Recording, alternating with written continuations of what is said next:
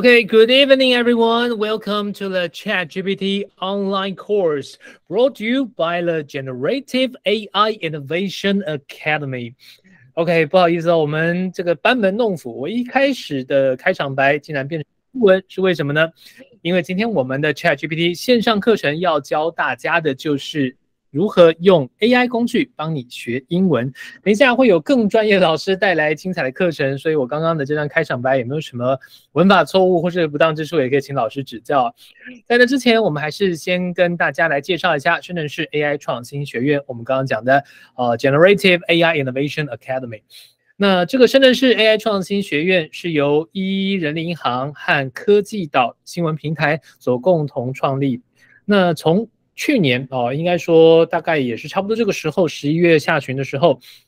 ，Chat GPT 横空出世，进入了大众的视野，让很多一般人，不只是我们这个产业尖端的这些科技研发人员，那一般人也能够看到人工智慧是用什么方式改变我们工作的形态，改变我们生活的形态。所以在那之后，各式各样的应用纷纷出炉，已经不只是 Chat GPT 了。包括是 Stable Diffusion 啦、Mid Journey 啦，这些都是呃图像生成的，或者是呃 ChatGPT 也有了其他的这个 Bing、Bard 等等的不同的平台也都有啊文字相关的这个聊天机器人，可以用 AI 来跟你做对话，帮你处理很多事情。在这些应用百花齐放的现在，你能够好好善用这些工具的人，你才能够掌握下一个时代的竞争力。也因此啊，包括一人力银行和科技岛，我们就觉得。必须把这些珍贵的资源做一些统整来跟大家做分享，所以从今年的三月份开始到现在，我们已经举办了超过六十堂以上的线上课程，邀请业界和学术界不同领域的专家讲师们来跟我们分享 ChatGPT 的相关内容。从一开始，我们研究人工智慧的相关理论，介绍 ChatGPT 这个应用的基本概念，到后来不同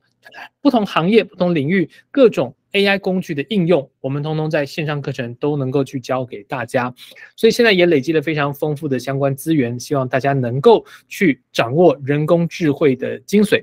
那所以呢，现在画面上的这两个 QR code 就是我们的呃这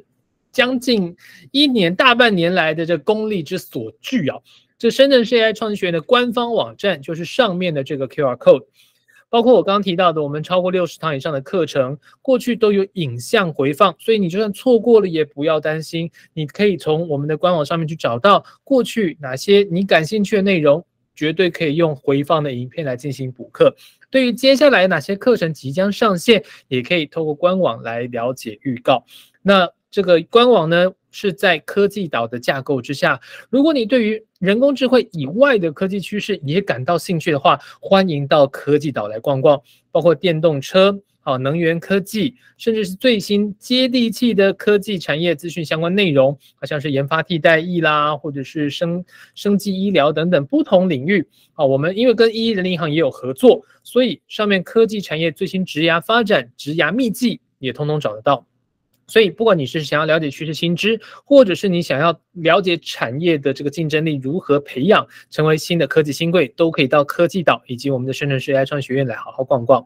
那如果你是要做一些即时性的讨论，不管是疑难杂症的咨询的寻求，或者是你单纯的想要分享你使用 AI 工具的心得，下面这个 Line 的社群就是你不可以错过的选择。扫描这个 QR code，你就会进到一个现在已经超过三千人讨论的一个赖社群了。那过去我们有这么多堂课的讲师，大半也都已经在里面跟大家进行互动分享。我觉得这个群组的讨论真的是非常的含金量很高啊！因为现在我们每一天 AI 界都有新的发展，可能今天有一个新的应用出来了，可能之前有一个旧的应用改版了，那这些有一些你。觉得哇，这么多资讯掌握不了怎么办？加入这个群组有非常高质量的讨论。那过去很多老师也在里面，所以现在里面已经是卧虎藏龙。这个群组的讨论也非常的健康。所以啊，如果你真的是对 AI 感兴趣的话，这个群组千万不要错过。好，那我们刚刚已经有稍微先预告到今天的课程了。今天课程是跟英文相关的。那稍后如果当然这个 我用英文做开场白，不代表大家提问要用英文了。这个是我们今天晚上的提问连接。对于老师的讲课内容。哦，有什么想要请教的、想要确认的，好，或者是对于主办单位提问的，啊，通通也都可以在这个现在画面上的这个 QR code 连到的 Slido 线上提问平台来进行提问。Slido 提问是完全匿名的，所以你不用担心啊，有不好意思、有点害羞，那任何问题都可以在上面进行提问。那如果你看到了别人问了你想问的问题，不要客气，帮他点个赞，因为在最后 Q&A 的时间，时间比较充裕，我们当然会多讨论一些问题哦。但是如果时间呃稍微比较紧迫的话，我们就会针对按赞数最多的问题来优先讨论。好，所以这个 Slido 的这个 QR code 可以先把它扫描起来准备，或者是点击我们在留言区分享的链接，小帮手会把这个 QR code 呃。连到的这个网址也分享在留言区，好，所以我们可以直接点选连接，就来掌握 Slido 的这个提问方式。那今天的课程是什么样的精彩内容呢？今天我们看到的课程内容，欢迎 Alex 老师，请大家帮我们按下掌声、爱心或者是拉炮来欢迎 Alex 老师，帮我们今天来这个进行分享。Alex 老师其实他是英。文教学内容创作者在这个方格子这个网站上面，其实有非常爆红的如何透过 ChatGPT 学英文的系列文章，非常多的回响。我们今天直接把他请到线上来教大家。好，那他对于这个英文怎么作文的知识啊、字根字首等等，其实哎，这些都他平常在教的内容，竟然可以用 AI 工具来帮助你啊，增加你的英文功力。好，所以今天的课程非常的实用，希望大家能够好好的跟着。这个 Alex 老师一起来学英文。好，那请 Alex 老师跟大家打声招呼吧。Hello，凯源，大家好，线上的朋友们，大家好，我是 Alex 老师。好的，听到我的声音吗？非常清楚。那么接下来我们的课程时间就交给 Alex 老师喽，请大家再次用热情的掌声，虚拟掌声，交我们给欢迎 Alex 老师上线。好，谢谢凯源。好，谢谢凯源精彩的解说。然后刚刚的这个英文的开场。非常的生动，然后呢，也文法也是一百分、一百二十分这样子。太好了，感谢您，太好谢谢，谢谢。然后也再次谢谢依依的邀请。那我来分享一下我今天的简报画面。OK，好，嗯，请问目前有看到我分享的画面吗？有的话可以帮我在通话中讯息这边打一个阿拉伯数字的一，让我知道你们有看到我在分享画面了。OK，好，谢谢大家。好，那我来分享一下我的画面。好，那我们今天的讲座就顾名思义，刚刚凯源也帮我们做了非常精心的开场，就是我们要来学习的是要怎么样去透过 Chat GPT 来克制化我的英文自学笔记这样子。好，那在讲座开始之前，不免俗还是要来自我介绍一下。嗯，大家好，那个我是十七点五英文写作教室的创办人 Alex。那我毕业于国立台湾大学政治学系。这样子，然后呢，同时也在 IG 经营，有经营一个嗯，大概运营了三年多的一个人气的粉钻，那目前也累积了将近十万位的创作者，呃，人人气呃，目前累积将近十万位的粉丝这样子。那如果有兴趣想要了解，无论是英文字根字首，无论是日常英文，或者是一些跟英文作文相关的英文知识，都可以帮我扫描右边的 QR 右下角的 QR code，可以来追踪我们的粉钻这样子。对，同时嗯。我们的粉砖上面呢，也会有嗯不定期会有一些活动的资讯分享。对，那嗯如果不方便扫描同学呃的的现场的嗯同学们，那你们也可以就是在 Instagram 上面搜起搜寻十七点五英文写作教室，或者是在脸书上面搜寻十七英文十七点五英文写作教室，都可以找到我这样子。好，那同时呢，嗯我在今年大概是三月左右的时间。嗯，我在三月到五月的期间呢，我在方格子上面陆续分享了嗯将近二十篇跟 Chat GPT 学习英文有关的文章。那其中有十篇被方格子平台选为严选的文章。那最高的嗯单篇的浏览量啊，就是达到了一万左右这个数字。对，好，那嗯，同时呃我也创立了一期英语，然后呢同时也开设了四门英文的线上课程。那主要是针对嗯一般的。嗯，上班族或者是嗯，针对高中生、大学嗯这个阶段的学生，然后呢来推出一些跟英文作文、英文阅读相关的课程这样子。那我同时过去也曾任职于食品外商公司担任 CRM，然后或者是以及嗯美妆的外商担任行销人员这样子。好，这是我简单的嗯背景的介绍。好，那我所分享的 ChatGPT 相关英文学习主题，其实嗯涵盖范范围非常广，因为其实嗯大家都知道，就是嗯刚凯文也有说了，ChatGPT 到现在大概嗯，试出从试出到现在大概过了将近一年的时间，所以其实在今年年初的时候啊，嗯，大概在三月那个时候，ChatGPT 就开始嗯迅速的爆红，它从可能是一般的学术界扩展到一般的领域，所以我在那个时候啊，我就分享了，包含说要怎么样透过 ChatGPT 来制作英文履历，或者是我们要怎么样去透过 ChatGPT 有效学习文法，然后以及我也分享一篇，就是我们要怎么样在五十分钟内透过 ChatGPT 来练习，包含说像是英文的听。说读写在这五十分钟内都一起完成，以及我们要怎么样去透过 ChatGPT 写出我们发想写作的论点这样子。好，那我来带大家看一篇，就是说，嗯，我是怎么去分享，呃，我是我在我的文章里面我是分享我是如何分享，就是说我们要怎么样用 ChatGPT 来练习英文的听说读写吼。好，那呃，我分享的方式是这样子，就是说，嗯，我是以一个就是假如说我今天要上一堂呃，可能是英文相关的家教课程。然后呢，根据我自己的需求来去拟定一个，嗯，这一这一整整堂课程的这个结构这样子。好，所以在课程开始之前呢，我就先拟定了一个课程的主题。那我相信，嗯，大家，嗯，蛮多蛮多，嗯，现场的观众朋友应该都是上班族嘛，所以就是说，嗯，假设，嗯，你们想要今天想要进进的是跟商业有关的主题，所以就是说呢，我们可以透过 ChatGPT 来去随机的去列出十个跟商业有关的学习主题。然后呢，这个时候你们可以根据它所列出来的十个主题，然后呢，随机的去发想一个就是你们感兴趣的主题，这样子。所以我在这边呢，我就透过 ChatGPT 跟他说，呃，请你帮我列出十个相关的商业学习主题，然后呢，我们去选择一个有兴趣的。好，这时候列出来以后啊，我就是选定了这个第一个 Time Management and Productivity，OK，跟时间管理还有时间的生产力有关的这个主题来学习这样子。然后所以就是说呢，到嗯，在一到十五分钟时间呢，相信就是嗯，大家在一开始进入一堂课程的时候，可能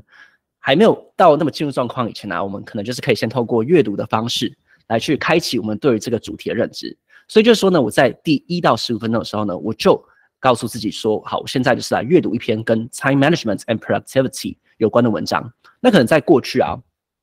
ChatGPT 没有出现以前，我们可能就是上网搜寻嘛。可是上网搜寻的这些主题啊，可能跟我们自己的需求没有什么关联，或者是它可能不太符合我们的需需求。所以这个时候啊，就是说呢，我就是请 ChatGPT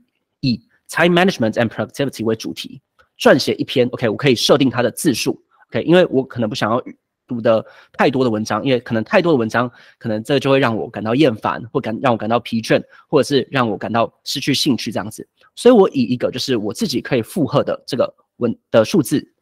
就是两百五到三百来去写一篇文章这样子。好，而且就是说呢，在 ChatGPT 啊，因为它可以提供它的它的指令，可以根据我们提供的指令，然后产出不同的内容。所以就是说呢，你可以根据你自己可能现在在公司的职位，或者是你目前正遇到的状况，去设计相关的主题。所以我在这边呢，我又附上了一个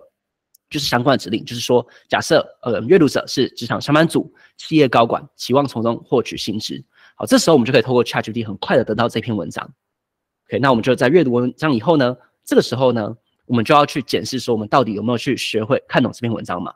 对，因为以前我们可能就是稍微看过一下，可是我可能自己没有什么太大的感觉。对，所以就说呢，嗯，在这个时候我就可以透过 ChatGPT 来帮我出几道简短的问答题、选择题来验收我是否学会了。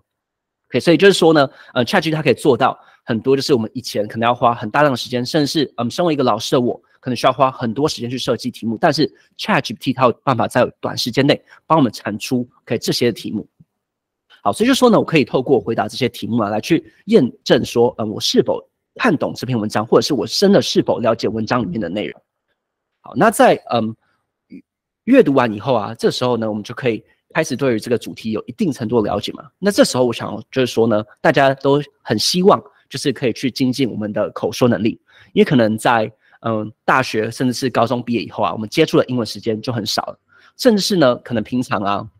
我们也有嗯需要去跟可能外国的这些相关的同仁或者是一些同事，甚至是一些客户去接洽的这个机机会，所以就说呢，其实英文的口说能力是非常重要的。所以就说呢，我在了解完这个主题以后啊，我就是想说，我可以来进行一个朗读的练习。可以，因为一开始如果要我们去做嗯这种即席的口说或者是即席的问答的练习的话，我觉得这个难度可能太高了，所以就说我们这时候我们就可以设定设计一个朗读练习，OK，透过念的方式啊来去培养我们的英文的语感，然后你也可以去就是练习就是开口说英文这件事情。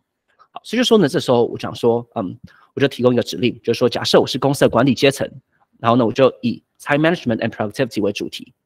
撰写一份向公司全体员工布达的朗读稿。好，这时候我们就可以开始去进行口说的练习，这样子。等到练习完以后呢，这个时候啊，大家就想要说，练习完以后，那我们就可以来看来培养，就是听力。OK，那培养听力这部分呢，我我是建议怎么做呢？OK，就是说呢，我们可以透过 ChatGPT 来产出一段对话内容。OK，那从这段对话内容呢，我们就可以去培养，就是说呢，呃，我们要去整理重点的能力。好，这这个训练啊，其实是也是我们在嗯一般在职场上经常会面临到，好吗？因为大家都知道，就是说呢，我们在上班的时候过程中，可能会或多或少都需要去开很多的不同的会议。可是有时候在会议的的过程中呢，如果当这场会议里面有不同于我们自己国家的这些同事，可能是来自欧美国家，可能是来自东南亚国家，甚至是嗯其他语系的国家呢，那这个时候呢，其实有时候我们可能会因为嗯会议的时候可能会有些分心，或者是因为别人的口音不同，然后呢而就是没有办法去掌握到对方讲的这些重点。所以就说呢，我们可以来当一个就是会议记录，来练习说呢，嗯。在整个会议的过程中啊，我们要怎么样去快速的去产出、整理出三个 key takeaways？好，所以就说呢，我就做了这样的训练。好，那我提供的指令就是说呢，请模拟开会的时候，向主管或者是要呃讲，就是说主管向员工来谈论这个主题，然后约两分钟的英文谈话，但是需要去包含三个重点。那这时候呢，我们就可以去透过这段对话的播放。OK，那我建议大家就是可以把这个对话贴到这个 Natural Reader 这个网站上面。好，那这个网站有什么好处？先跟大家去做一个简单的介绍，就是说呢，你它是一个 AI 的这个语音的网站，就是说你可以把就是文章的内容贴到 AI 上面，然后你可以根据就是不同人的选择，像是选择他们的口音啊，或者是选择他们的呃可能是来自不同语系的国家，这边都可以去做选择。对，然后就把你的对话贴上去以后，然后它就可以开始朗读了。对，那这时候我们就可以做一个简单的听力练习。然后呢，去试着从他们的对话过程中呢，然后呢，去产出三个重点。然后呢，这个时候呢，我们产出三个重点以后，可以去跟 ChatGPT 为我们整理出来三个重点对照是否相同。那通过这样的训练的话，是不是就可以培养到我们职场的技能，同时也提升我们的英文的听力的能力？对，然后最后结束以后，就是说呢，我们就来去进行这个写作练习。等于说，我们在这五十分钟内听说读写都练习到了。OK，那写作的部分呢？嗯，像现在大家都知道嘛，就是 ChatGPT 它可以帮我们做很多事情，包含说基本的商业注信、商业书信的起草，或者是如果我们今天要嗯跟国外的同事来跟他们说做一些书信件上面的来往，以往我们可能都要绞尽脑汁，或者是我们遇到一些不会的单字，都要要可能要上 Google 上面去查这些字，然后呢在撰写书信书信的同时就浪费我们很多时间。可是我相信大家就是在 ChatGPT 出现以后啊，嗯，很多同很多的嗯。在职场上的这些人呢，他们都会透过 ChatGPT 来去帮我们去写作。所以就说呢，在未来的这个时代里面呢，其实英文的书写能力，我认为就是对于我们在职场上面训练，其实相对来说已经没有来的像过去那么的重要了。所以这时候呢，其实我们要练习的事情是当一个就是主驾驶。什么叫主驾驶呢？就说呢，我们到底要怎么样去透过 ChatGPT 精准去传达我们想要传达的事情？所以在这个阶段呢，我们要做练习是什么？嗯，我们就给自己随便设定一个题目，像我这边设定一个题目就是这边，就是让大家思考：如果我们是一位公司的主管，主管想要向公司的同事们传达 time management and productivity 这个议题的重要性，我们要怎么样在短时短时间内去吸引他们注意，然后并且重视这个议题？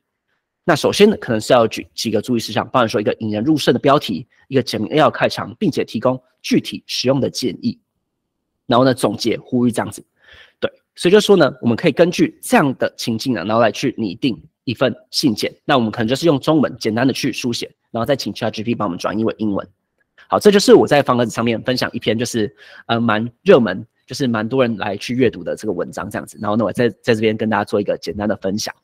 所以就是说呢，这个就是说我在过去所分享 ChatGPT 相关的英文主题，就是说可以从我分享内容发现，就是说，嗯，我是以一个站在嗯英文教学的的角度来跟大家分享说，我们要怎么样去透过 ChatGPT 真正的去提升我们的英文能力，然后呢是做就是对于我们的能力的提升有效的训练。OK，所以就说呢，也回归到我今天的主题的分享，就是我今天想要带给大家一个是很简单的一个英文的学习的观念。就是说呢，我们要怎么样去透过 ChatGPT 来帮我们真正提升阅读的能力，而不是透过 ChatGPT 产出很多很厉害、很棒、很惊艳的这个英文内容，但是呢，我们却没有办法去把它 pick up，就是把它化为我们把它内化、吸收，然后呢，为我们的英文能力做提升。好，所以就是说呢，我今天的讲座内容简单的规划，就是说，我会先跟大家简单的去说明，就是嗯，ChatGPT 出现一年多了，OK，那相信大家也是或多或少都有去接触过 ChatGPT，才会对这场讲座感到兴趣嘛。所以就说呢，我想要今天打，想要带大家来探讨的第一个议题是说。嗯，ChatGPT 这么方便，那我们还要学英文这件事情吗？好，那第二个主题，我想带大家来讨论的是，嗯，ChatGPT 究竟要怎么样去使用，才可以让我们去进步？OK，这是我在嗯今天嗯整个讲座一开始以前，我想要先花个大概十到十五分钟时间来跟大家讨论的两个问题。好，那第二个部分，也就是今天的重头戏，就是说我们要怎样去透过 ChatGPT 来做英文的自学笔记？OK，那讲完以后呢，我会给大家一个就是。实做练习的时间，对我希望就是说呢，大家今天可以就是直接透过实做，把这个能力给学起来，把这个流程给熟悉，然后呢之后你们可以把这个能力带走，然后呢放在就是说未来，假如说你可能一周可能花个一到两天的时间，可能每次花个像我刚刚所设定的这五十分钟，甚至是更长，可能七十分钟、八十分钟的时间来去做这件事情，然后来去帮我们的英文能力获得真正的提升。所以，我们大家会有一个二十分钟的实做演练的机会，在我讲解完以后。然后你会预留十分钟，让大家去分享说你刚刚透过 ChatGPT 真正去产出的这份英文自学笔记，然后你的心得是什么，以及你是背后为什么会想要这样做的原因。好，那在整场讲述讲座结束以后啊，我会简单的去做一个总结，以及就是说，我不知道大家有没有对于这个议题有没有兴趣，就是 ChatGPT 究竟会不会取代英文老师这件事情？对，我想跟大家做一个这样的分享。好，那么废话不多说，直接开始今天的讲座吧。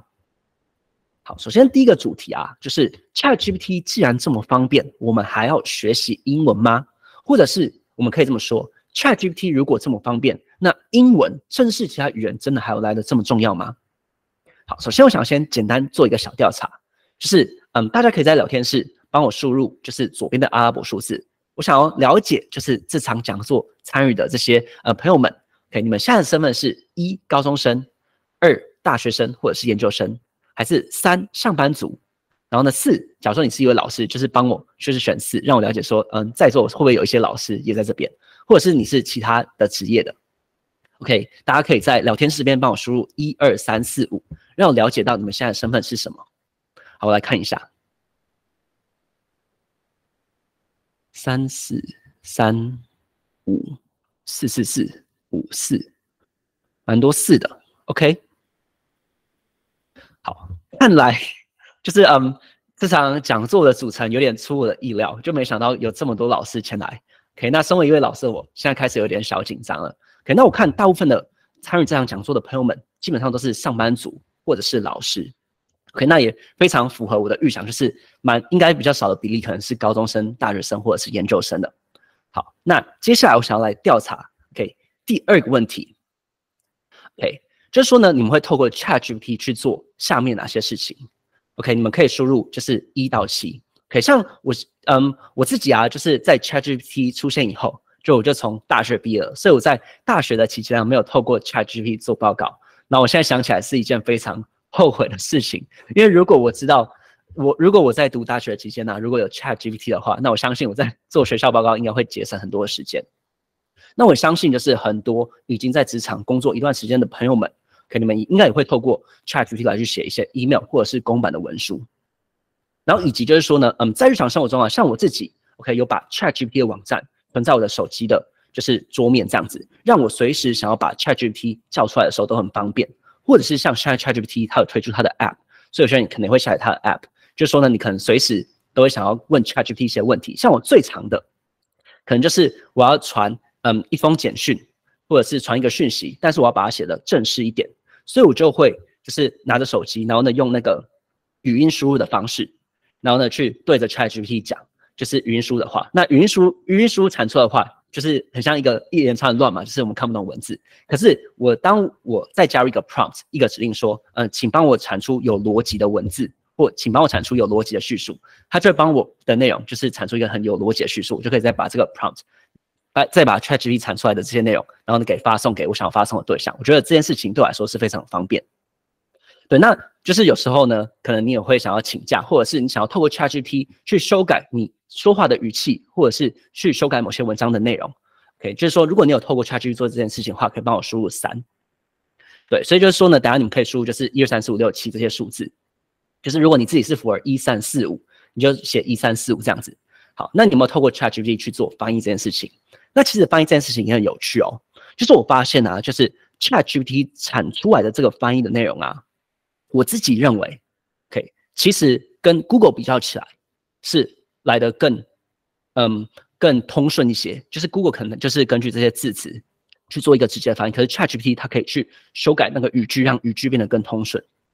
所以像我现在就是也是有时候也会透过 ChatGPT 去做翻译。可是，嗯，在 ChatGPT 翻译成中文的这个阶段呢，它有些用字会跟中国的他们的用法会比较接近，像是嗯最常出现的可能就是讯息，它会变成信息。或者是我们在 from 我们在翻译那个 project 这个字，它会翻译成就是项目，就是中国就是说我们就会做很多不同的项目，但是我们这边可能会比较翻译成就是偏向可能是专案这样子。对，那这是常见的，就是 ChatGPT 它可能翻译成中文的时候，可能有些用语用字会跟中国比较接近，这也是嗯它的一个限制，这样子，就是你可能还要再去手动的去做一些调整。然后呢，再来的话就是说，你可以透过 ChatGPT 去帮我们去做一些像是文章。或者是影片的这些重点摘要的部分，OK，那其实影片的影片的重点摘要，不知道大家有没有看过这个东西？好，我来点给大家看。好，一，OK，就是说呢，嗯，影片这个东这个东西啊，就是嗯，我们可以透过 ChatGPT 啊，就是帮我们去针对可能像是有些 YouTube 上面有些国外的影片，就是你可以去下载这个，就是嗯，扩充的这个。软件，就就是就是这个外挂外挂程式，嗯，就是这个叫做 YouTube Summary with ChatGPT。然后呢，它可以做到什么事情？就是它可以在这边，像这边，就是如果这个影片里面有 CC 字幕的话，重点是要有 CC 字幕。如果没有 CC 字幕的话，就没有办法做到。然后可以帮我们就是把这边的组织稿叫出来，然后呢，透过 ChatGPT 去帮我们去产出一些就是重点的摘要的整理。我觉得这个也是蛮方便的，就是说，嗯，如果是学生，你可能想要看一些国外的网站，或者是，或者是你可能是一个工程师，就是你想要透过国外的网站学习一些就是 coding 的技巧，OK，那这个就会非常的去帮助你，就是有效的去节省时间，可以帮你就是快速的摘要重点。对，就是不知道大家知不知道有这个扩充软件。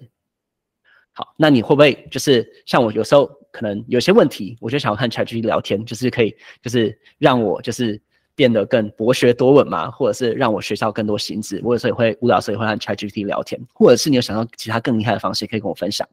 好，所以现在啊，我想要大家就是花一点时间去思考，你自己平常会透过 ChatGPT 去做哪些事情？一到七，可以可以帮我打在聊天室这边，我看看大家有没有打过。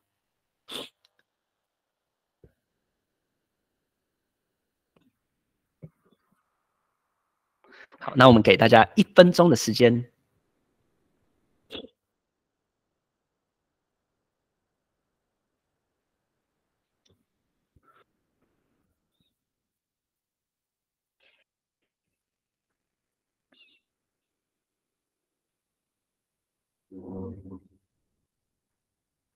好，我来快速的看一下。嗯，Coding with Wikipedia and Wikipedia，OK。二三四，OK，好，感谢大家协助，可以跟我想的蛮蛮接近的。对，那如果等一下有时间的话，或者是有的话，大家可以到 Slido 上面，就是你是如何透过 ChatGPT 去做嗯更多更厉害的事情。就是如果你有其其他厉害的方式的话，欢迎大家在 Slido 上面跟嗯在场的与会的这些贵宾分享。好，可是呢，嗯，想象一个情景，像我去年。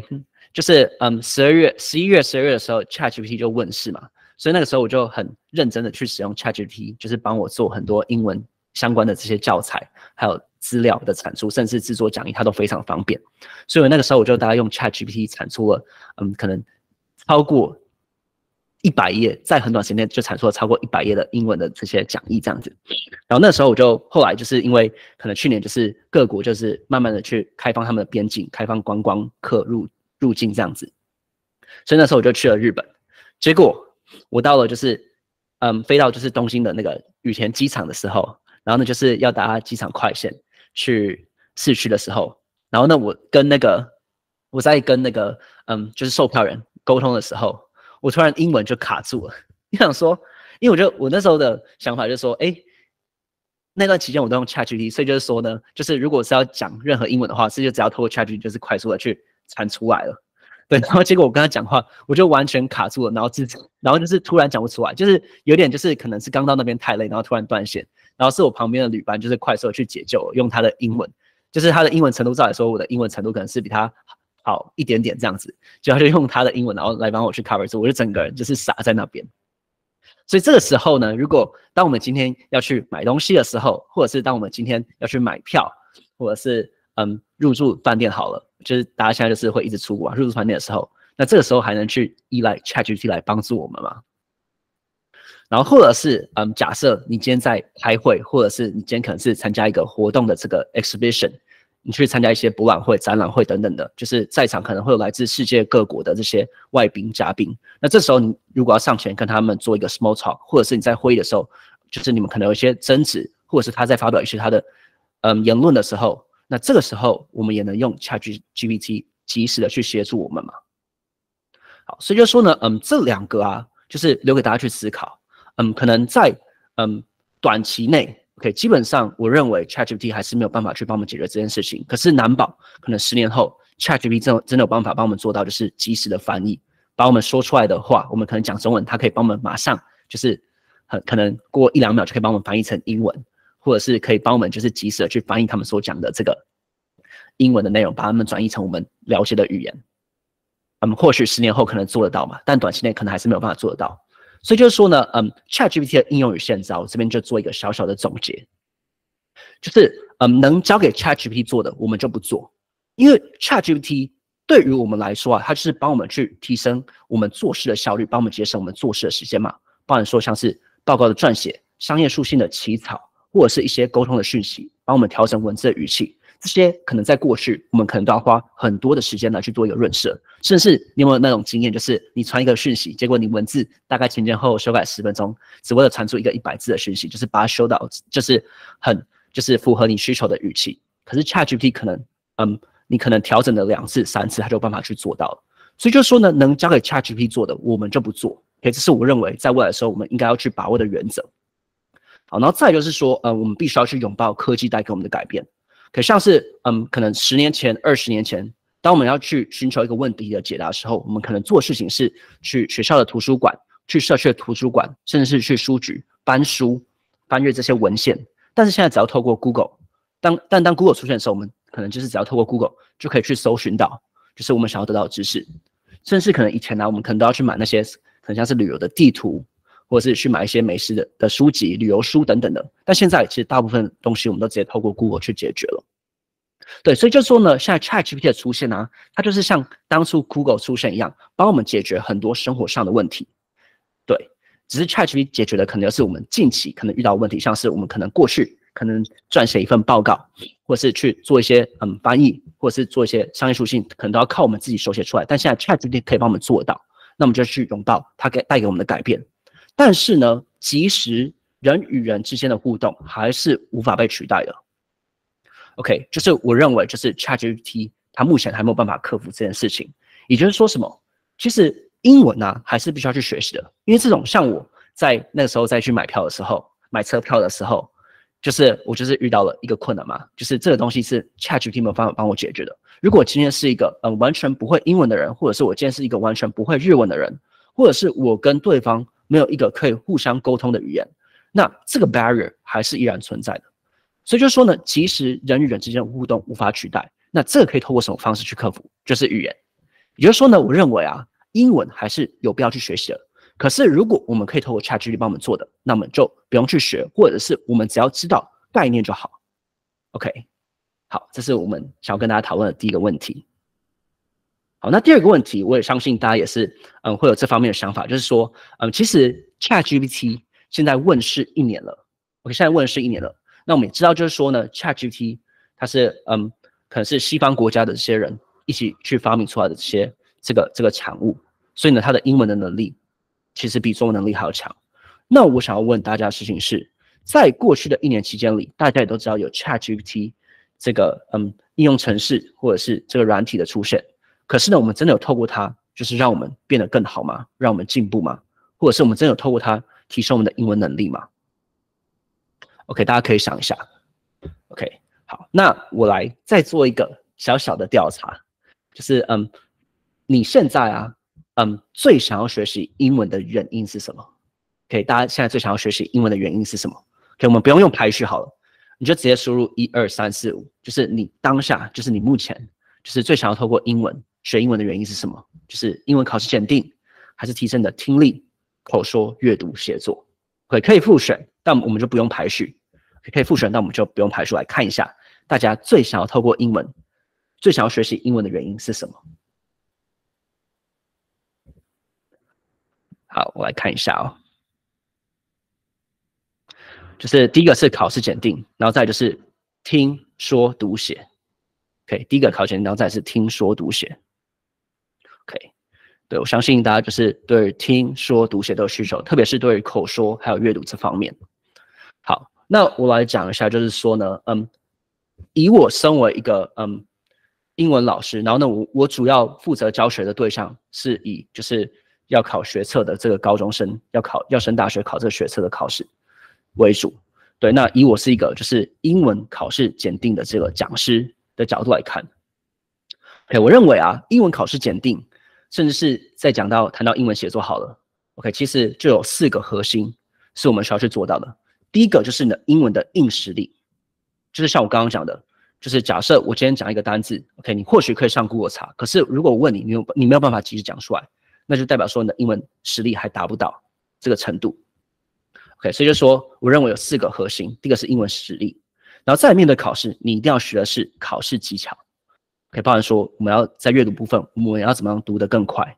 ，OK，然后呢，在短时间内看懂文章，或者是我们在选择的时候。在写那些选择题的时候啊，学校不是会教一些什么考试技巧吗？对，那我这就是觉得考试技巧这件事情，然后再来要透过大量题目的演练，透过大量题目演练，然后呢，像是台湾人最喜欢的事情就是去写很多题目，去刷题，然后来让我们就是更熟悉这个考试嘛。那其实面对任何考试，其实都是可以透过题目的练习，帮我们找出一些盲点嘛，然后来提升我们的能力，可以知道让我们知道我们的弱点在哪里，然后我们针对这个弱点去做修正来提升我们能力。然后以及就是寻求外部的协助，可以包含说你可能是像是嗯，像我现在在教的就是学测考试，那很多学生遇到问题就是英文作文，嗯，他们需要找老师去批改，然后需要找老师协助，或者是你可能是不会的问题，你要找老师去问，那你就要去寻求外部的协助。好，这四个啊，英文实力、考试技巧、题目练习跟外部协助这四个事情里面哦，可以有一个。是有办法透过 ChatGPT 给我们带来大量的帮助的。OK，不敢说到百分之百，但是我认为百分之八十以上是没有问题的。英文实力、考试技巧、题目练习跟外部的协助，有一个是我们可以透过 ChatGPT 来给我们很大的帮助的，为我们提供大量的帮助的。OK，大家觉得是哪一个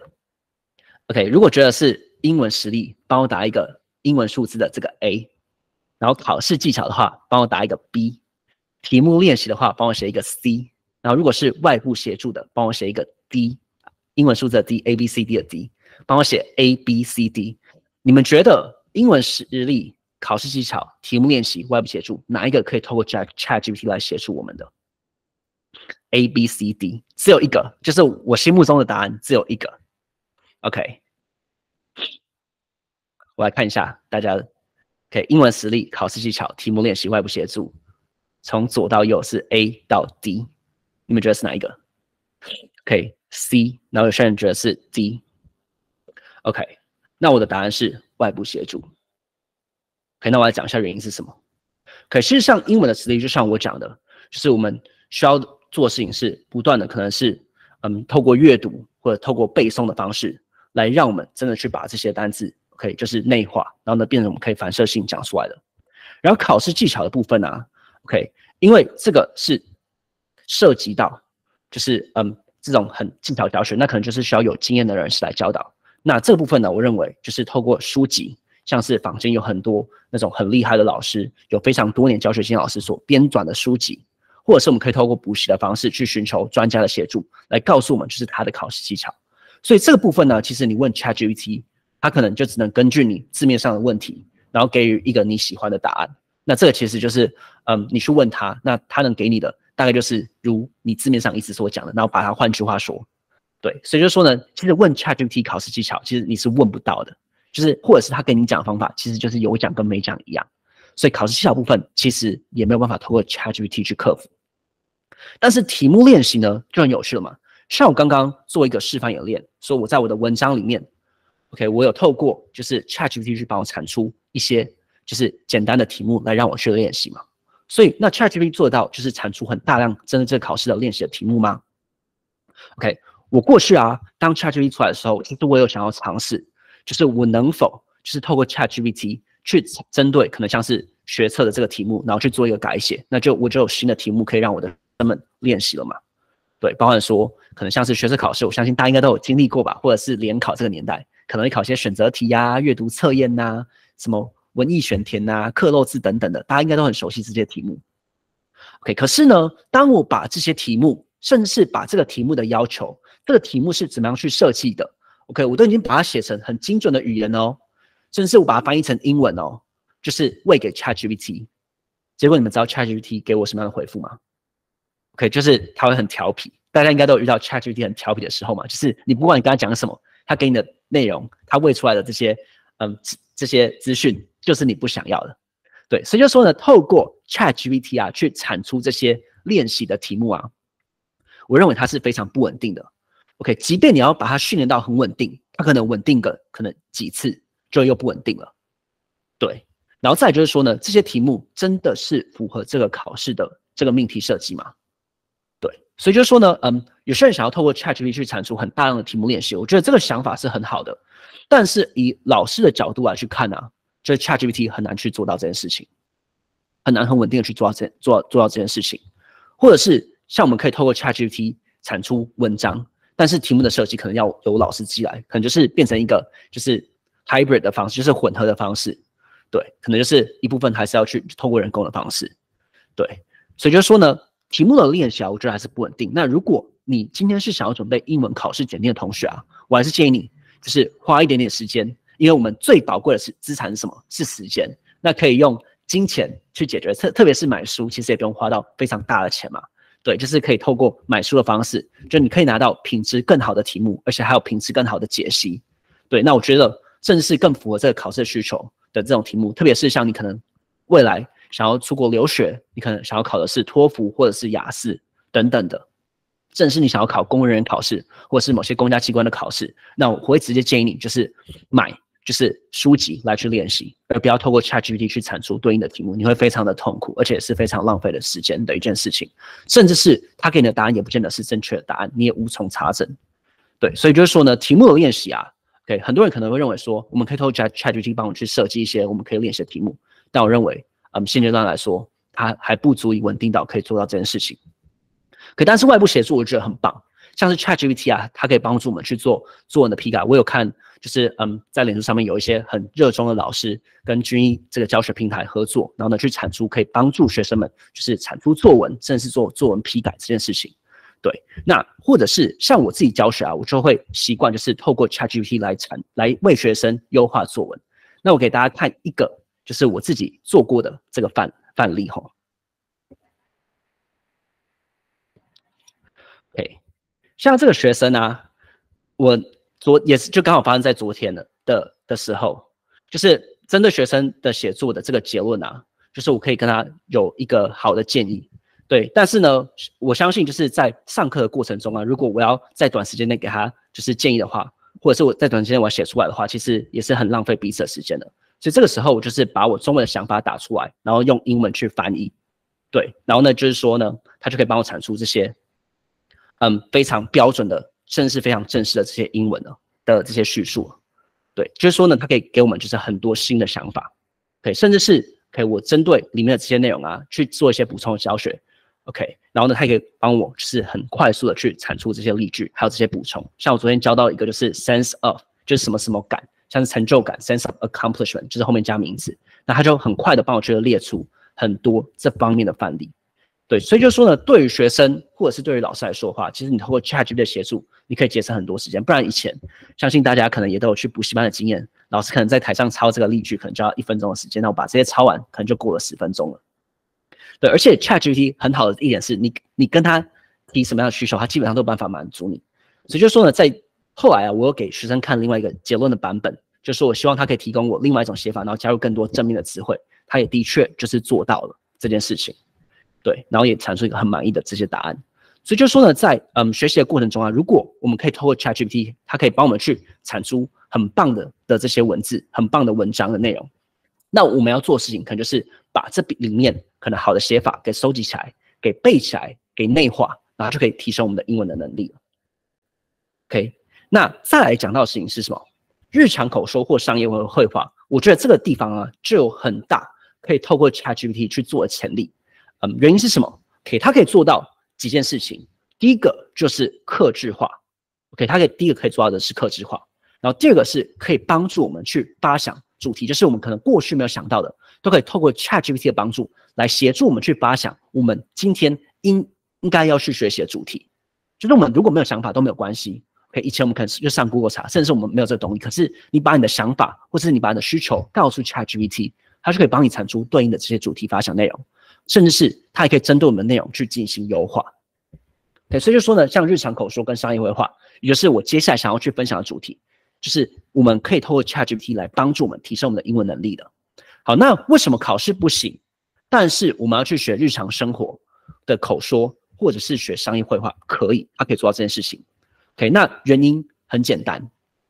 就是因为我们今天要做事情就不难，就是它复杂度没有像考试这种那么高，你还要把那个设计的方式。或者是你要把你想要的题型告诉他，他没有办法去做到，甚至他也不了解你这个考试，可他也不了解里面的这些庞大的资讯。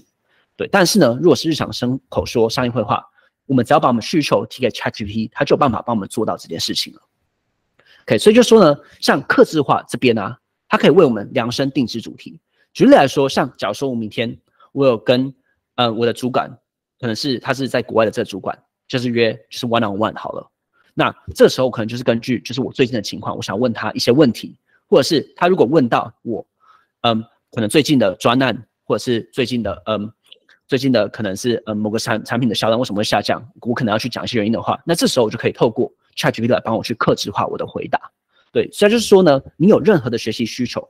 都可以去提给他，他可以针对特定的商业情境，像是会议谈判或客户服务来设计这些主题。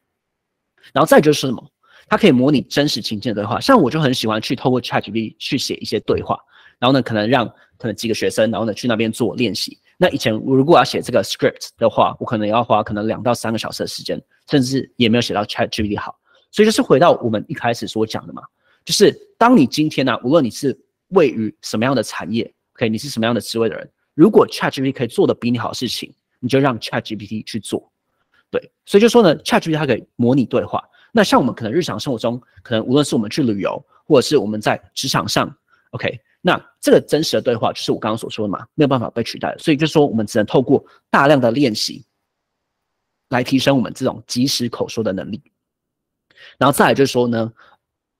根据我们的这些讲话，其实像 ChatGPT，你现在也可以安装一些就是外挂的这些程式，来就是直接你讲，它就可以。就是输入在就是 ChatGPT 里面的，所以说呢，它也可以也可以怎么样提供准确的即时反馈。就是大家应该也都知道，就是说呢，我们可以请 ChatGPT 扮一个什么专业的英语口说专家，然后呢来给予我们的回答一些即时的反馈。就是可以透过角色扮演的方式，或者是假如说你今天要去练习面试好了，你可能可以请 Chat ChatGPT 扮演一个有二十年人资经验的这个 HR，然后来给我们的回答就是一些点评这样子。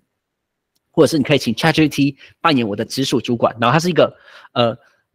很凶、讲话很直接的，或者是他是一个和蔼可亲，或者是他是一个面恶心善、面善心恶的这个主管。OK，那他会给我们什么反馈？那我们可以去做一个及时的英语调整。所以是 ChatGPT 啊，它可以帮我们去定制主题，还可以帮我们去模拟真实情境对话，还可以提供准确及时的反馈。然后再就是说什么？OK，像我刚刚讲的嘛，我在一开始我跟大家去做那个五十分钟的这个演讲的练，就是五十分钟学英文的这个练习，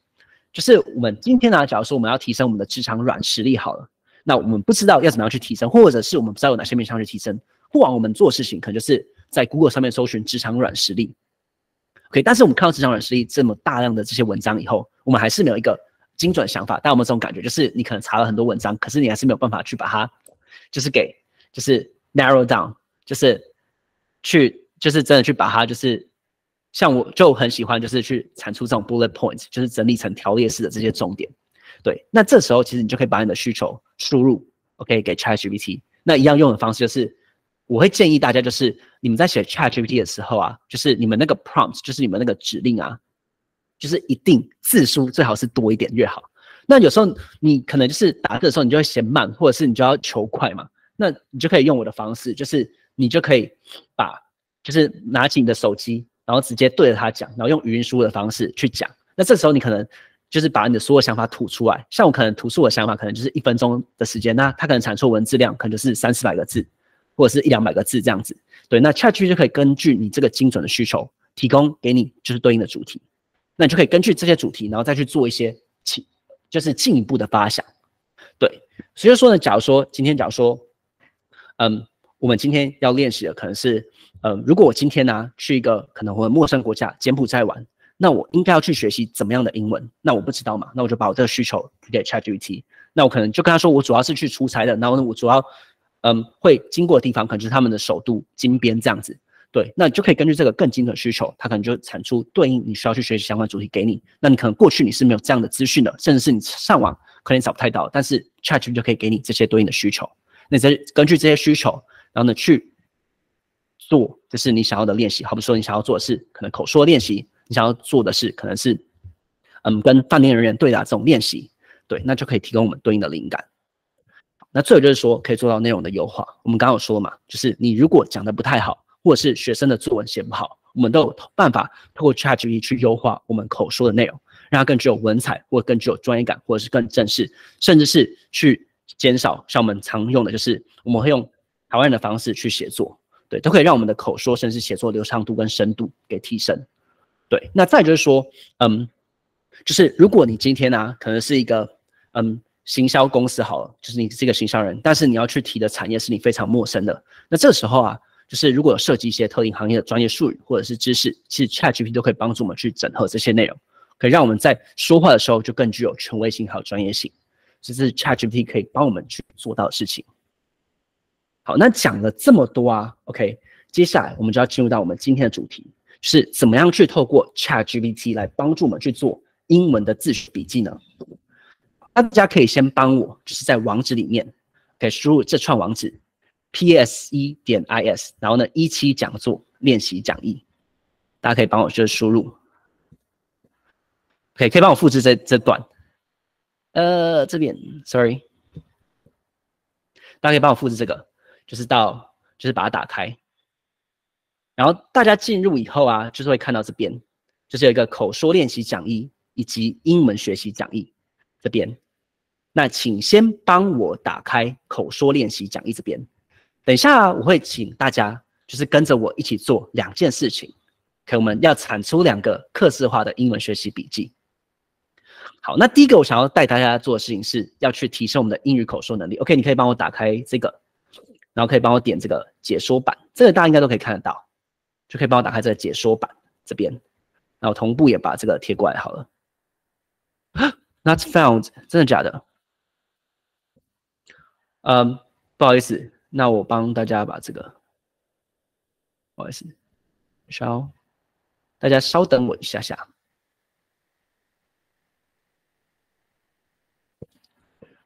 OK，这边，好，大家不好意思。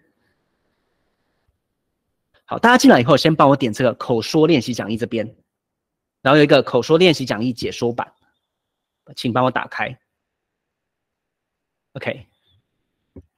好，大家应该是只能只能 view 吧，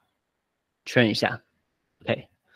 好，那这个时候啊，就是说，呃，我刚刚讲嘛，ChatGPT 可以帮我们做到几件事情，第一个是克制化，第二个是主题发想，第三个是内容优化这件事情。可但我们今天。没有老师没有那么严格，今天没有 Alex 老师上线，今天我就是一个分享者，所以我们只要做到前两件事情，第一个就是克制化，第二个就是主题发想这件事情。好，所以就说呢，嗯，假设啊，OK，你就可以根据你自己的嗯这个情况，然后呢列出你想要学习的主题，就是因为我相信大家今天想要来听这场讲座，都是想要透过 ChatGPT 来提升你们的英文能力嘛？OK，所以就说呢，假设我是一个大学生，那我这边我就是请 ChatGPT 帮我去随机的去列出十个 OK 大学生想要学习英文相关主题，所以你也可以输入什么，随机列出十个可能是职场工作两年的职场小白，或者是随机列出十个嗯在做 business development。嗯，在可能科技业做 BD，想要学习的英文相关主题，这样子。如果你是完全没有想法的话，好，那这时候呢，我就列出来以后，他给我十个主题，然后我就发现，哎，旅游，我最近刚好去旅游，OK，然后呢，我就想说，根据这个旅游，然后呢，来去发想说，那我想要学的事情是什么？好，所以就说呢，我想到了，OK，我那我，嗯，假设啊，随便讲，就是我明年要去欧洲自由行好了，那请列出十个，OK，我必学的英文单词。OK，那为什么要去列出十个，不是二十个，不是十五个？OK，因为我认为啊，就是嗯，做任何事情之前啊，我们都是一步一脚印慢慢来，就是一次给我们太多东西的话，我们反而没有办法去吸收嘛。所以就说呢，我今天教大家的方式就是，大家一定可以透过这样的方式，然后你只要跟着我的脚步去做，你就有办法去提升的英文能力的。所以你就是可以去列出十个我必学的单词，可以呈现方式如下，就是英文、中文，可以例如 release 释放，就是等一下大家去实做的时候，你就可以就是。直接把这个 prompts 贴进去，然后呢，就是改我红色字的这边。对，所以就说呢，假设你今天要做的事情是，呃，我要去，可能是，嗯，菲律宾宿务玩，OK，列出十个我必须的英文单词。好，那他就会帮我列出来以后，好，这个部分呢，当他今天整理出来这十个单词，如果这些单词都是你会的，你可以跟跟他说，请帮我再提高一些难度，或者是像我们英文最常见的是 A one、A two、B one、B two。那你就说，请帮我列出可能 B two 难度的单字，就是列到可能十个里面，你可能有六到七个是你可能过去可能有看过有印象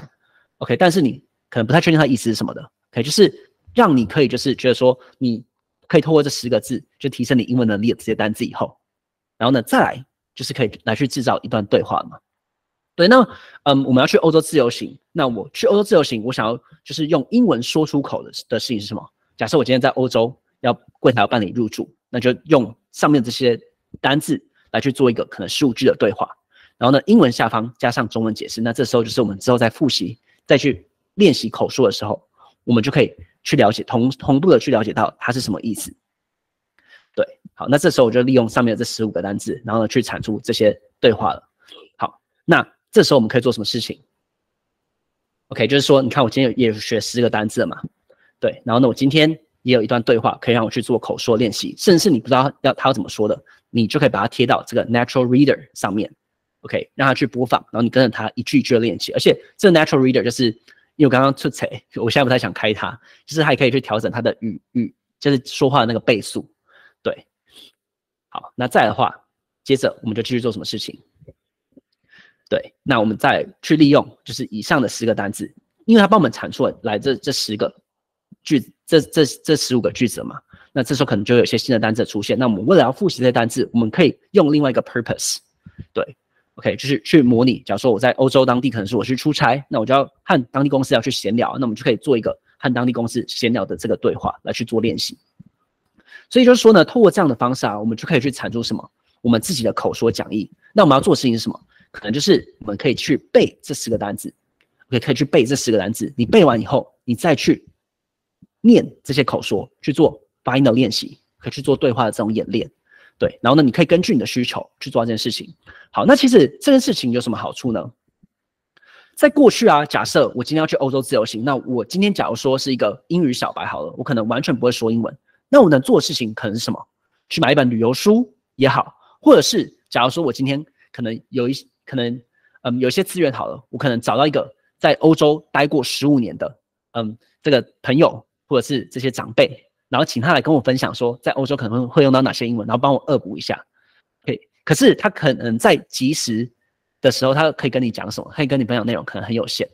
或者是我们今天花大钱找了一个家教老师，他可能以前在英国念书，在英国工作过的，来请他们教我们这些对话。那老师光是要设计这些教材，他可能就要花上不少时间。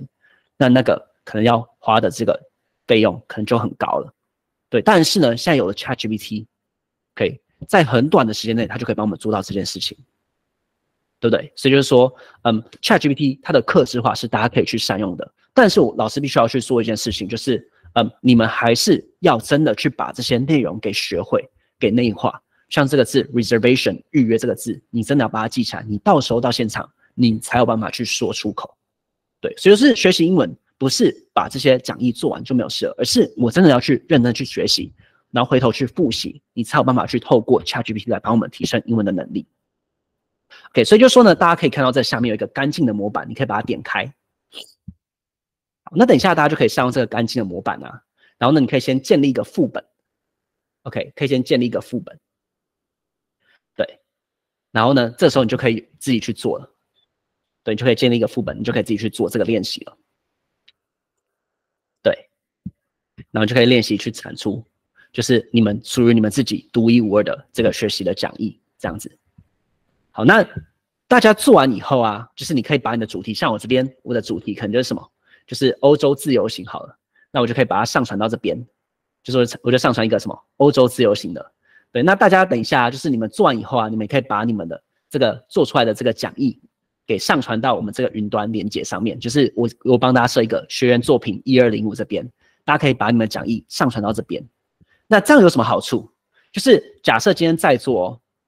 给我们今天在座有有多少人？我们今天在座可能现场可能一百个人。那如果 OK 大家都认真去做的话，我们是就有一百分的学习奖励了。当然，我也相信大家就是不见得大家都有有时间或者。去做这件事情，或者是可能刚好手边可能在忙啊，或者是你可能手上刚好其他事情没有办法去做，都没有关系。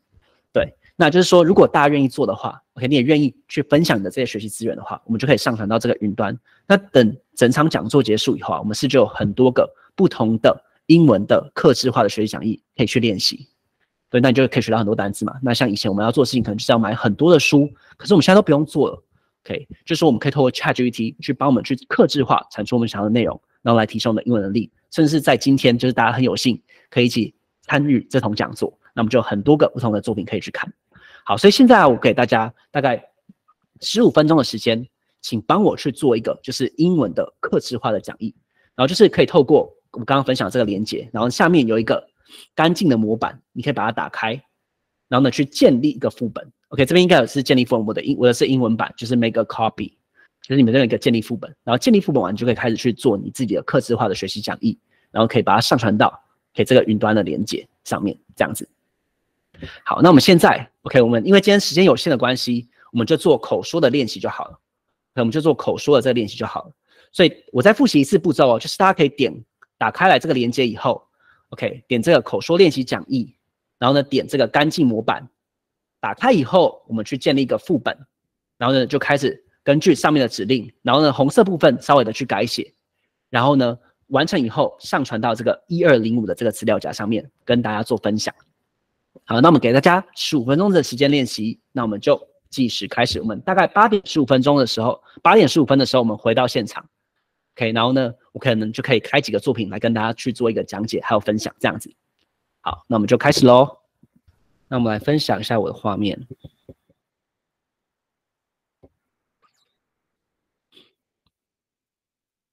好，不知道大家过去大概十五分钟的时间忙得如何了？好，那嗯，请问有看到我分享画面吗？有的话，可以在聊天室边帮我打一个阿拉伯数字的一，让我知道我在分享画面。OK，谢谢。好，那嗯，刚刚我有收集到几个问题在这个讯息里面，然后我把它整理起来。第一个是讲者的 IG 账号，给我把它贴到这个对话框这边。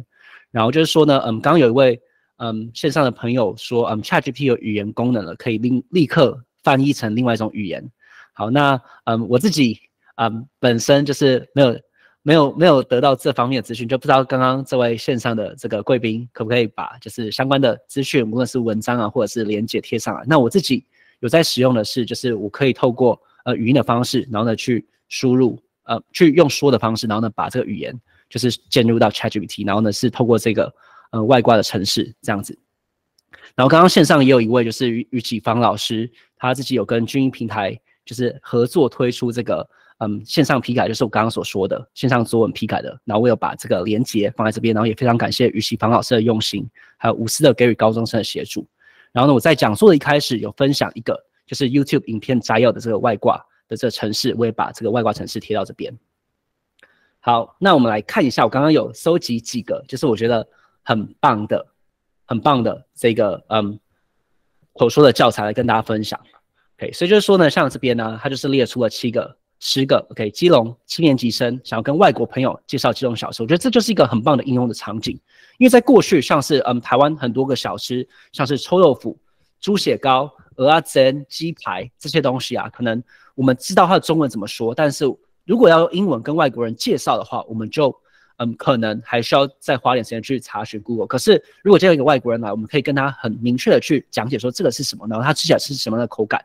用 ChatGPT 先做一个提前练习的话，那这样的话可以就可以让我们的沟通更顺畅一些。所以这边我们就列出了，你看，我们就可以透过这个，嗯，这位同学，OK，或者这位线上的朋友，然后呢去产出，OK，就是去学习，就是台湾的这些小吃的这些英文要怎么说。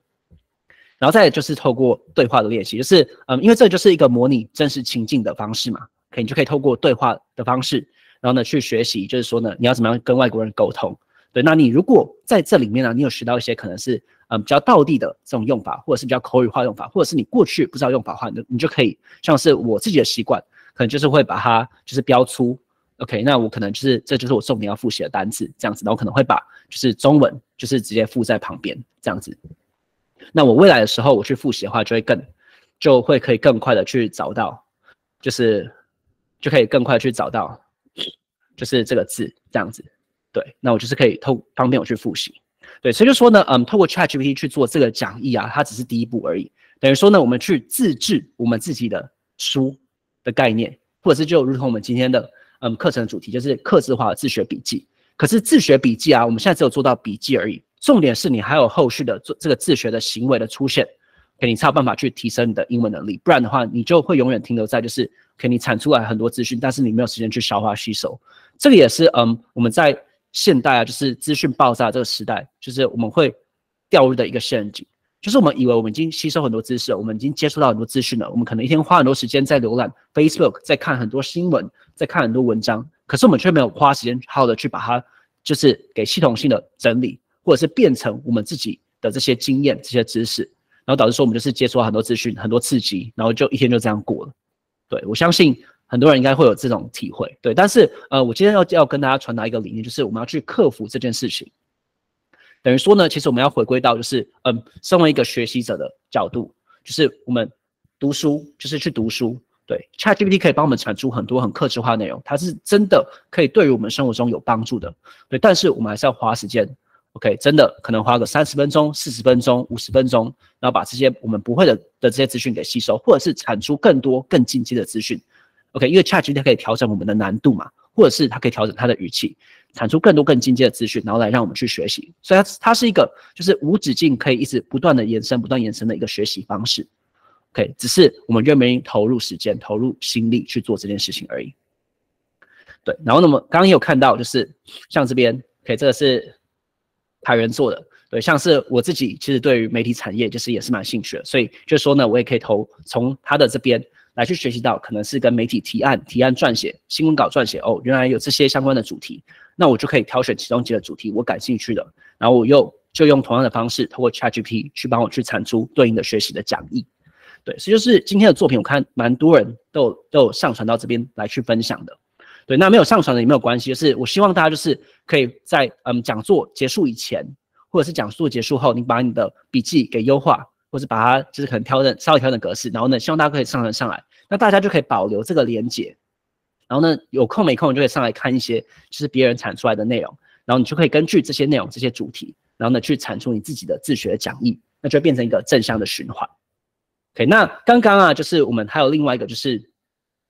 嗯，英文的学习讲义。OK，那这个我们今天来不及做，但是大家也可以把这个模板带回去，就是如同我。在嗯讲座一开始之前，跟大家分享我在方格子分享这篇文章，其实就是用同样的概念，就是嗯这是比较偏向就是商用英文或者是比较偏向职场能力的这这个做法。对，那它的强度就会比日常口说来的还要再更强一点。对，就是说呢，嗯我们这边就是说假设一个专业身份，OK，假设我是一个拥有丰富经验的外商公司总经理，那我会去设定这个专家专业身份的原因，也是因为就是说我想要就是借由 ChatGPT 啊去帮我。就是去学习，就是那些有经验的人，OK，他想要学的主题是什么？对，我不知道这样做可不可以啦，但我觉得这样做的效果，其实对于我自己在自学啊，我觉得其实有蛮大的帮助。那像过去，如果我们要就是 reach out 到这么高阶的这些主管，其实嗯，对于我来说啊，其实没有那么的容易。但是我现在可以透过 ChatGPT 的方式来去列出说他们可能会想要去学习的主题是什么。对，那我去产出对应的内容。那我就是第一个就是产出相关的文章嘛。对，那假如说阅读者。可能是我自己目前可能是职场的一个上班族，期望从中学习新学习获取新知，或者是你想要获得学习啊，你可以在这边，就像我刚刚说的，你可以把它打得越仔细，它可以产出的来的内容就越符合你自己的需求。然后呢，完成以后呢，你就可以透过简单的方式帮我去验收我到底有没有看懂这篇文章。对，这步是很重要的哦，因为嗯，虽然说 ChatGPT 可以帮我们去很快的去做一些重点的摘要，可是有时候在及时上，或者是当今天，假如说嗯。ChatGPT 有天突然从我们生活中消失了，OK，或者是当今天我们突然就是网络就是突然没有办法连线了，那我相信网络没有办法连线那天，其实呃整个社会应该会非常的混乱，这样子对，但就是我们难保万一嘛。但是如果我们今天可以把这些东西变成我们的硬实力的话，那其实无论有没有网络这件事情，无论有没有 ChatGPT 这件事情，我们的英文能力还是可以保留在就是一个程度之上，对，所以就是你一定要确认说你到底有没有学会这件事情。然后呢，再就是说，嗯，透过阅读方式去练习嘛。那我就是假设我是什么样的阶层，那我想要做什么事情，对，好，那这部分都是大家可以再去调整你们的这个指令的。然后以及最后就是你可以去练习，就是摘要重点这件事情。对，那你就是可以用中文写下来，其实我觉得都没有关系，不一定要用英文嘛，因为我们重点还是我们自己有没有办法去理解为主，就是你可以去产出对应的练习。好，所以就是回到我今天的这个讲座啊。呃，回到我们我们今天的这个讲座，对，所以就是说呢，在讲这个主题前呢，我想要再针对刚刚的这个练习去做一个收尾。可以简单来说啊，我今天想要传达给大家概念很简单，第一个就是学英文真的不难，ChatGPT 有办法帮我们做得到。OK，大家不用担心，就是我们 ChatGPT 没有办法做到这件事情，或者是我们没有办法去学英文。所以既然学习英文是随时随地都可以开始，你只要有一只手机、有一台平板、有一台电脑，就可以开始去做事情。那我们就要怎么样？你有心的话，你就要赶快去的去采取行动。如果你没有采取行动以前，就是，嗯，这件事情不会被改变。好，再第二件事情就是说，他可以做到就是很强大的克制化这件事情。那这是在过去你可能需要去投入很大的资源、很大的心力、很大的时间才能做到事情，但 ChatGPT 就可以在短短几分钟内做到这件事情。然后第三个就是，可以你要把它变成实学，你要把它做到学以致用。是，嗯，当今天我们产出来的只是笔记而已。OK，但是我们还没有做自学这个动作的话，就是其实嗯这些内容它只会永远只会停留在你的电脑的资料夹里面，它不会变成你你自己的内化成你自己的能力。所以你一定也是要花时间去读这些东西，OK，去记这些单字、这些英文的说法，就以英文老师的角度去说，对，那你你才有办法就真的透过 ChatGPT 去改变你自己，去提升你的能力。好，所以就是说呢，嗯，最后一个结论呢，就是嗯想要回答一个问题啊，就是我自己。在过去一年，就是尝试用 ChatGPT 去做很多教学上面的应用，以及我个人能力提升的应用，我所得到的结论，OK，确实 ChatGPT 到底会不会取代英文老师这件事情啊？我自己的看法是，嗯，不会。对我自己看法是不会。OK，那原因是什么？就是人与人之间的互动啊是没有办法去被取代的。那英文老师除了提供语言的知识以外，OK，他更更重要的事情是可以提供学生们的需求，可以根据学生们的需求提供及时的回馈。然后甚至去激励他们，就像我我的学生，他也知道说，嗯，可以通过 ChatGPT 去提升他的作文能力，但是他不知道要去问他什么问题，或者是他不知道要怎么问，OK，来帮助他们。所以这个就是老师的价值，甚至是嗯，在座每一个，就是你是在每一个不同专业的领域，就是你自己专业的价值。OK，很多人都说 ChatGPT 会会取代工程师，取代嗯很多职业，但是我认为啊，就是嗯。在这样的前提之下，是需要去做前面很多的努力。那这些努力其实也都是要去人类才有办法去把它达到的。对，就是说大家就是不用那么的焦虑，OK。但是你要去培养你的自己的能力，以及你在不同专业领领域的能力，然后呢，去创造你自己不可取代的价值。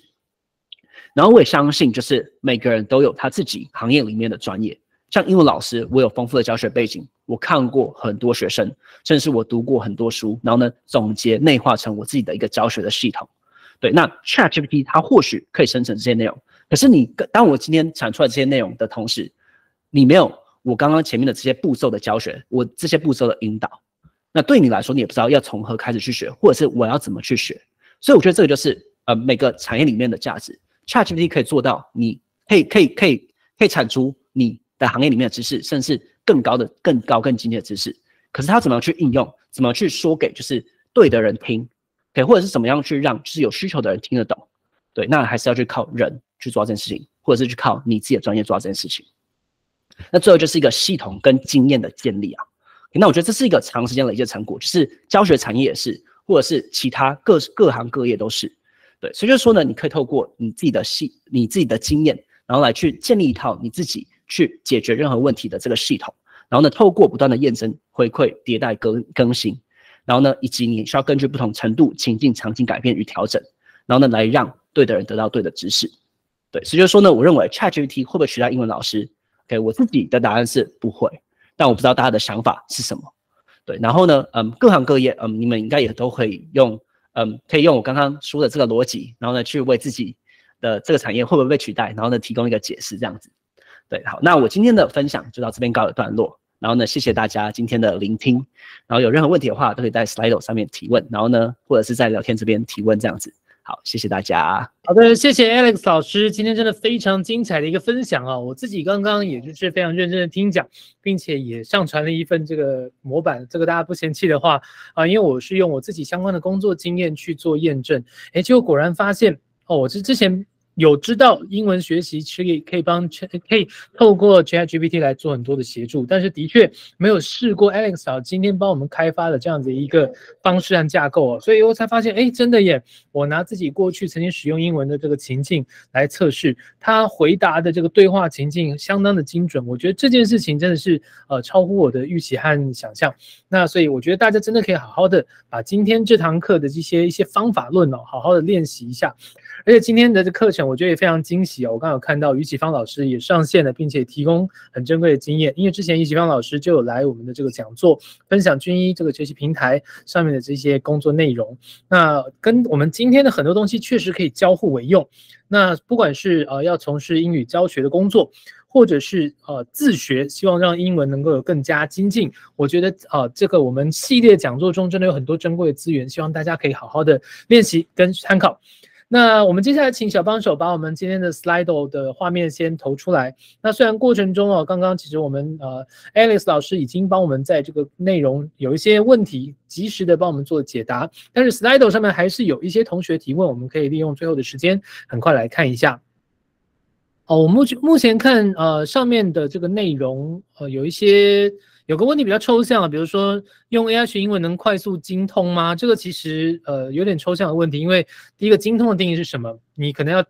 列出一个比较具体的标准。你的精通是能够通过检定吗？还是能够跟呃外国人英文母语使用者非常流畅的口语沟通呢？精通的定义不不精确的情况之下，很难回答你这个问题。再来就是快速是多快速？本来应该要学习十年才有所成、有所小成的一个语言，如果你能够在三年学完，是不是算快速的呢？还是你认为要三天速成？呢？所以我觉得这个问题稍微有点笼统一点啊，但是透过今天 Alex 老师的解释，我们应该已经可以知道有一些更有效率、更有系统的学习方法。那希望大家能够掌握起来，对于英文学习能力都能够精进。而且我觉得很重要的是，AI 毕竟是一个工具，你还是要能够自己去应用跟练习，自己该下的功夫、该花的时间还是得花，这些功力才会从 AI 转移到你的身上。那我们请 Alex 老来分享下面的这个另外一个第二题好了。我觉得他刚刚讲的是说，呃，扮演面试官或主管给予回馈，针对你的口说内容来进行优化。那呃，如果是口说的话，因为其实。啊，刚刚看到还毕竟还是，虽然说我们有一些是口说的情境、对话的情境，但是它毕竟是比较呃是用文字的方式呈现。那 Alex 老师有没有结合一些其他外挂或是工具，把这个英文实际上口说的这个功力能够用 AI 工具来加强的方法？因为口说可能要有人去矫正你的呃咬字、语气、发音等等，哦，或是单字的这个念法。那老师在这个方面的学习有没有什么样的建议？嗯，我觉得这个问题其实也是蛮问到点的，对。那我相信也是记者会喜欢的问题，对。那嗯，ChatGPT 它要怎么样去扮演面试官或主管给予的回馈？就是我刚刚有提到一个，就是角色扮演，就是说，嗯，假设你今天这个回答的问题，就是说你如果嗯要面试，假如说是像我之前可能待的是嗯嗯食品公司好了。那你就会想说，你就可以说，哎，假设你是一个嗯食品公司的专业的 HR 专业的人资，OK，那你会给予这样的问题什么样的回馈？或者是你可以去做事情是，那你觉得他还会问什么问题？就说你针对这个问题，你有什么样什么样的问题要去追问吗？对，所以就说呢，你可以去再透过就是 ChatGPT，然后呢给他赋予一个角色，对，然后呢让他就是可以给你更多的这些回馈的想法。那针对口说的内容啊，就是你可以就是去说出来嘛，像我们刚刚有提供大家就是这外挂去练习，那你就可以根据你的回答，好比说嗯这个字可能这样字用使用是正确的嘛，他可能会给你就是一串，就是你可以把它输进去，你说有没有更专业的说法？像我最常用的 prompts 就是有没有更专业的说法，或者是有没有更清楚的说法。就是非常简单的字，然后他就可以可以给你可能就是更多的这些回馈了，对，就是因为他的英文的能力真的是非常的强，对，所以就说呢，嗯，我们自己的回答就是我相信就是你要及时的去讲出一个就是非常流利的语言，甚至非常用字非常精准的语言，其实是非常困难的。但是以以往我们在练习啊，我们可能真的要去练习面试好了，我们可能是真的是去可能是线上平台，像是 Amazing Talker 随便讲好了，去找一个可能是嗯国外的这些。英文老师来跟我们去做一对一的练习，对他，但但就是说呢，嗯，这个时间可能是在非常短的时间内，我们肯定没有办法去做到完整的练习，甚至是我们要练到我们所有准备的题目，对。可是现在你可以跟 ChatGPT 就是耐心的这样一一题一题一题主题去修，那就可以得到更多就是更精准、更正确的答案。那我觉得这可能就是甚至连外事都没有办法做到事情，但 ChatGPT 它有办法去做到，所以就回扣到我今天主题一开始讲的，能让 ChatGPT 去做的。或者是我们人类要去做，要花很多时间、资源、心力的事情，就让 Chat Chat GPT 去做。也这是我对于这一题的回复。好的，谢谢。而且刚刚啊，其实 Alex 老师很客气，还有一个问题没有提到，就是费用。对，因为其实如果我们要能够找一个外师陪我们做这么详尽的情境模拟的演练。甚至是帮你纠正比较精准的用词哦，我觉得这个费用都相当的不菲哦。那但是如果用 ChatGPT，其实它就是所谓的这个月氪金，你一个月二十美金的费用，那其实相对讲起来，它的投资报酬率是很高的。那当然是因为现在好像还没有重新开放呃新的用户的注册，那希望就是旧用户能够好好把握。如果你已经是有开放啊 GPT Four。的这个付费功能的话，好好的去运用。那因为其实刚刚我这个问题，如果再呃问一个比较给老师出个难题的话，还想了解说那个发音或者是听力的部分，哦，它可能其实也是蛮重要的。那如果我们啊去 GPT，它如果原本不借助外挂的话，它还是比较偏向是呃文字语言的呈现哦。但是如果要加入声音的话，它是不是还是能够有需要用外挂来去辅助，不管是听或者是说的部分呢？OK，我觉得凯文这个问题太刁钻了，是有点困难。OK，OK，那其实我觉得，嗯，假设你今天是要练听的话，或者是你不知道要怎么样去发音这个字，或者是你不知道把它讲得更流利的话，你就可以用我刚刚讲的这个下面这个 Natural Reader。对，就是你可以贴到就是这 Natural Reader 上面，然后呢，它就是可以模拟不同口音的讲。像假如说你今天要面试了，随便讲，好，好比说是一间印度的公司好了，那印度公司大家都知道。印度人讲话有印度腔，对，那你怕你听不懂的话，你就可以丢到上面，然后呢，让一个印度人来去说，就是这个问题。那你去试试看，你到底听不听得懂？或者是假如说，嗯，ChatGPT 给你回馈好了，假设他假设扮演一个专业的这个人资角色，或者是嗯，你未来直属主管的这个角色，以面试这个情境来说的话，对，他可能讲一长串，你怕你听不懂的话，你就会把它丢上去。那甚至是你可以调整你的倍速，可能是调到一点五倍速，然后你练你到底听不听得懂。对，所以就是说呢，如果是听力的练习的话，我觉得觉得可以结合 Natural Reader。可是如果是考试的话，就回扣到我我刚刚讲的，是考试你要用 ChatGPT 去练习，我觉得是比较没有效率的做法。原因是因为题目真的不太稳定。对，所以就是说，如果是考试的话，我建议大家还是去买考试相关的这些备考的资源去练习。但是呢，如果是呃没有办法透过呃坊间的书籍，或者是没有办法透过网络上面这些资料来练习的话，那 ChatGPT 做得到，我们就让 ChatGPT 去帮我们协助。凯文这样有及格吗？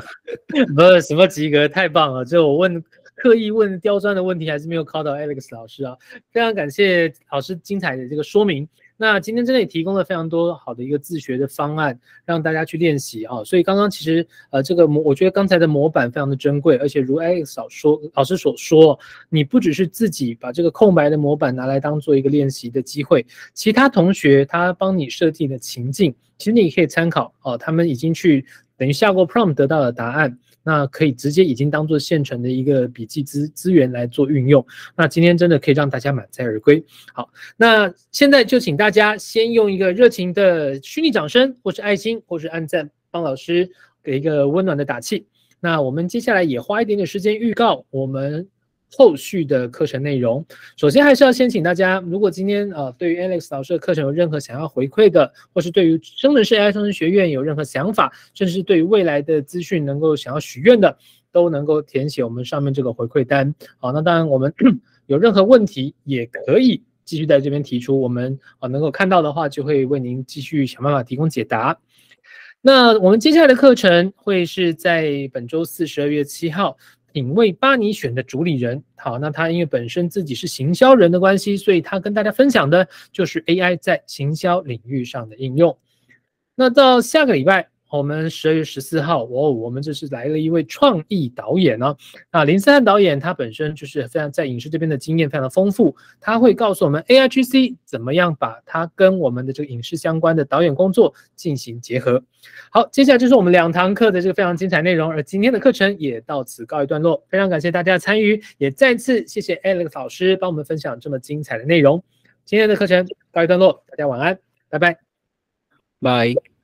嗯，有任何问题的话，想要提问的话，其实可以到呃 I G 或者是脸书上面私讯我，我再回复大家。是的，好，延伸学习也欢迎加入我们的 Line 社群，好，希望大家能够